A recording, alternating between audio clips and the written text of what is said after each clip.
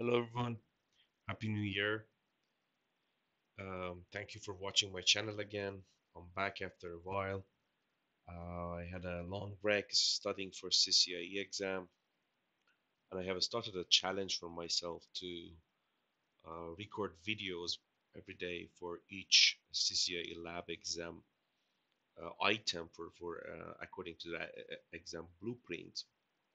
Now today we are going to talk about we are going to have the very fun lab and talk about layer two WAN circuit technologies. Specifically, I'm going to talk about um, this item here. I'm going to talk about PPPoE. We are going to have a fun lab for PPPoE. And on top of PPPoE underlay, we are going to have OSPF running.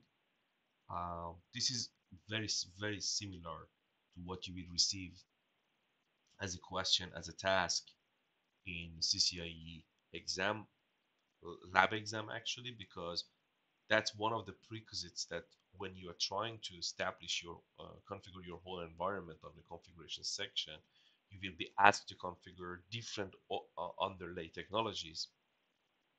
One of them is definitely layer two technology and PPPoE. So you have to have your PPPoE up and running. And then on top of that, other services like uh, OSPF and uh, other routing protocols.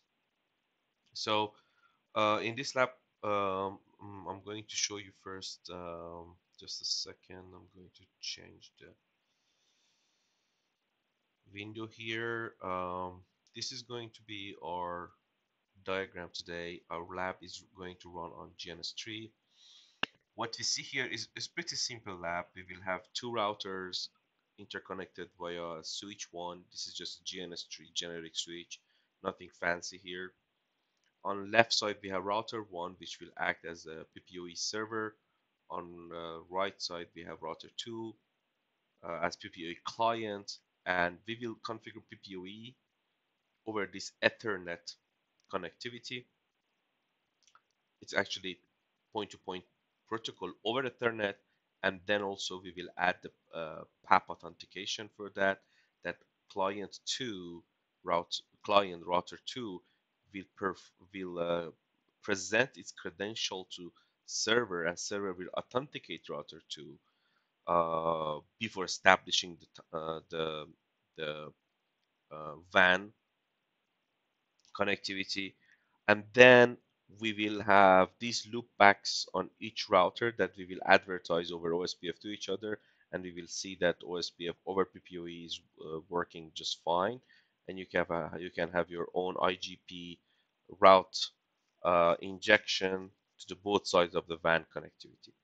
Also, um, I will try to do some packet capture on what happens exactly behind the scene on the packet level, what is going on on the wire to see whole PADO, pad, uh, PADO, PADI, and and the whole uh, packet flow uh, for setting up the PPPoE. We will discuss uh, discuss that a little bit as well. So let's just jump into the configuration. Um, now, what I'm going to do, I'm going to just switch the recording window to my SecureCRT here.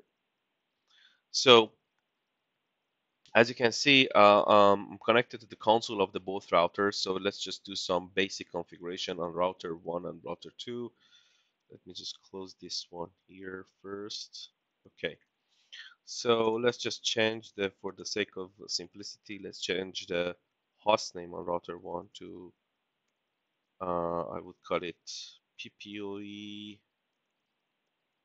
server. And also let's make it more comfortable for us that we don't get bothered every time that we go to from global uh, global configuration mode to to uh, privilege mode. We don't get um, we don't get bothered by the syslog console syslog messages. So uh, we will put here logging synchronous and I think we are done for here. Show IP interface brief. Let's do a quick checkup. Yes. On router 2, the same. I'm going to change the host name to PPPoE dash client. Align console 0 logging synchronous. Okay. So we will start the actual configuration by PPPoE client. Uh, the first thing we will do on the PPPoE client, we will cre create a logical interface, a logical dia dialer interface. So interface, global mode, global configuration mode, interface dialer one. So what happens here is that on the client side, we have to have an interface dialer that acts as a dialer to dial into the server for, uh, for PPPoE connection. And all of our logical configuration will be on the dialer side, on, on this dialer interface. And then when the dialer interface is configured properly, then we will tie it to a, um, a PPPoE pool, and that PPPoE pool will be called from our physical interface. That's how it works on the client side of the PPPoE. Now, uh, interface dialer one, we will say encapsulation PPP, um, uh, IP address negotiated. So there are a couple of options here. We can have hard-coded IP address. We can have DHCP. Here, for the sake of this lab, I will just put negotiated on the other side, the server side. We will define a local pool, uh, which local IP address pool, uh, which will use to uh, provide IP address to the client side during the negotiation phase of PPP. So encapsulation be IP address negotiated. So let's say uh, PAP authentication. I'm sorry, PAP uh, PPP PAP sent username. You put user one. So password. I'm gonna just explain this.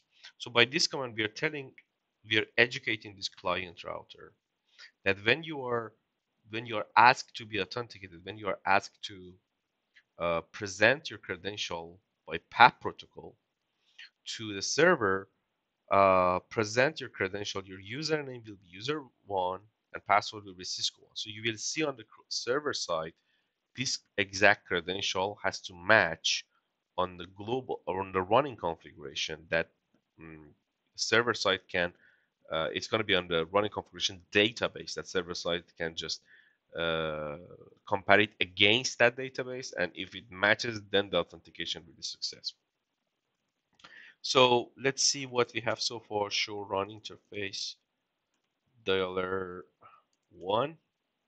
So IP address negotiate encapsulation PPP we have and now one more important thing is that we have to adjust the MTU here uh, to 1492 because there are 8 bytes overhead for PPPoE that if we don't do that because on the server side it's going to be um, included it's going to be uh, adjusted automatically on the virtual template side. But on the client side if you don't do that the, your PPPoE will be fine. The whole uh, connection will be established. You can ping the other side but the problem is that when you have for example uh, OSPF running, your OSPF neighbor relationship is not gonna come up. So your OSPF has, is gonna have problem. Specifically, it's gonna start, uh, get stuck on the ExStart mode. Now, to avoid that, we just adjust the client side as well. So let's see what we have here. We configure the IP address, IPMTU encapsulation PPP. Now we're going to tie to a pool. So I would say PPPoE. Uh, I'm sorry, dialer pool we call it uh, um, we can assign any um, any number between one on from 1 to 255 I will just put 10 and you will see when where I will call this that's very important so this is just locally significant to this route uh, so I think we are done with the dialer side uh, now let's go let, let's go to, the physical interface which is on my gigabit 00 so interface gigabit 00 no IP address. So I don't want any IP address to be assigned to the uh, interface on the physical level. And then, uh, and then I would say PPPoE client dial pool number. Now I have to call the the pool the dial pool that I assigned here. So it's going to be 10 and no shutdown. So on the client side, we are ready. Um, but uh, on the on the server side, I'm going to show you the configuration on the next video.